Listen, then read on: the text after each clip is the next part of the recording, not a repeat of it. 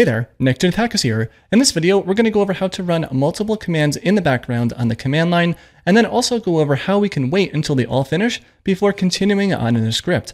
This could be very useful if you want to parallelize some workload. For example, maybe you need to run a couple of different SQL dumps in parallel. They can all run by themselves, but you want to wait until they all finished before doing something uh, with the results of those files. So in this video, we are going to go over a script that I prepared here. You know, we're going to go over everything, change around some arguments just to see how it works. And by the way, uh, the text version of this script is going to be linked in the description below. So feel free to check that out if you'd like to copy paste this on your own later.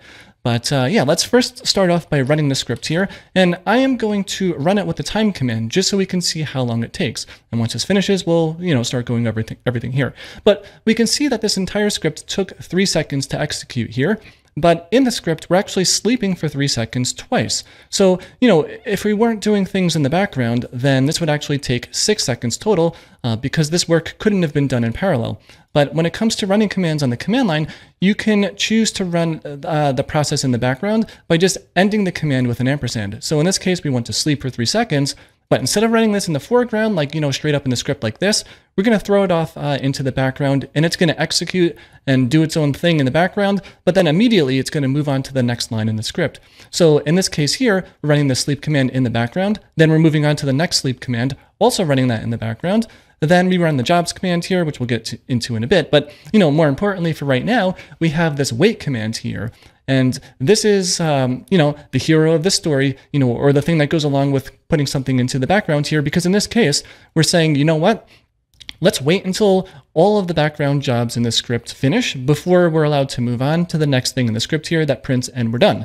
So for example, just to illustrate this a little bit better here, you know, if this wait command weren't here and I rerun this command, it should finish, I guess, pretty much instantly here, right? So it takes whatever, you know, two microseconds or whatever that happens to be to execute the script. Why? Because what happens here is we run the sleep command in the background, that immediately finishes. We run the next sleep command here in the background, that immediately finishes. We list all of our jobs like before, but this time we're not using wait here, and it just immediately goes to the next line where we just print and we're done. So that is why that finishes that quickly here. And if we could take this one step further and we remove the background calls here, then look at that. Like here, it's like doing something, wait, wait, wait, wait, wait, doing something else. This has the extra new line, whatever, formatting doesn't matter. And eventually we finish here, but we can see the total execution time of the script, six seconds. Why? Because neither of these things were done in the background. Um, so that is how that all comes together here. And when it comes to the jobs command, this will just list out uh, active running jobs for the script here. And this identifier here is called the job ID. So each job that we have has its own ID number. And then also this number here is the process ID or the PID. So uh, just to illustrate that maybe a little bit more, you know, you can run, uh, what is it, echo dollar sign exclamation point. So you can, you can do that to echo out uh, the PID of the last run command. So in this case, let's rerun this again. This should take three seconds here uh, because they're both in the background and we're waiting. But we can see here, you know, for the first sleep command, the last run command here, its PID is, you know, uh, 11175 here, and we can see it's also 11175. And the second one is 176 here, and they all both line up. So that is how that works here. So, you know, if you were doing some scripting and maybe you just want to wait for the last PID or something, uh, this wait command actually does support uh, the ability to put in a list of PIDs to wait for.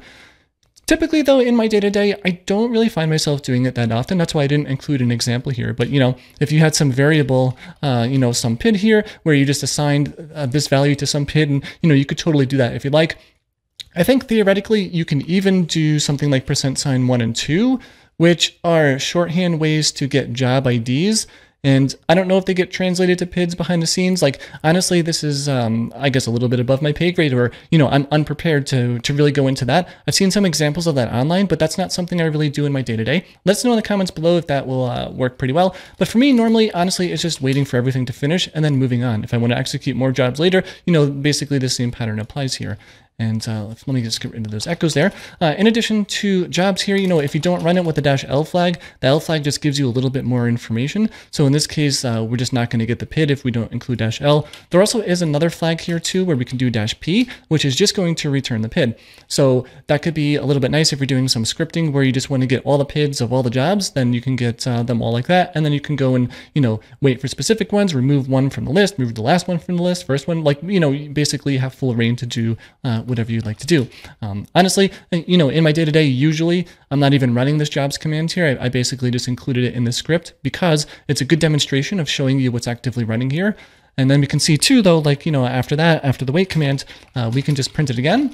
And if we run this, then yeah, there shouldn't be uh, any jobs running because at this point in time, after the wait, all the jobs are finished here. So in this case, uh, we can see that those jobs have finished running. So basically, you know, running is a status here. So it's either running or it's done, or um, I guess in theory, like things could break and maybe it would say error. I actually don't know in that case because when I write code, things don't break. Yeah, right. But uh, yeah, uh, that's that basically. So yeah, these are all basically the tools that you need, right? Execute things in the background with the ampersand, ampersand, wait for them to be finished. And if you want to get some more information, there you go. So these three things together are a very, very powerful concept. And uh, it can definitely save you some time, right? If you're doing a really expensive operation like a SQL dump on a large table or a database or something like that, and you know that thing might take like two minutes to run, you know, substantially, uh, potentially way more too, right? If it's a bigger database. But if you have to run three things that each take two minutes and you can actually do them in parallel, then you're saving yourself, yeah, a lot of time there because instead of, you know, it taking six minutes to finish sequentially, you can finish in two minutes where each one just does the work on its own. So yeah, that's going to do it for this video. Let me know in the comments below some use cases or patterns where you've used this in the past. And uh, if you like the video, please give it a thumbs up because it really, really does help. Thanks a lot for watching and I will see you in the next video.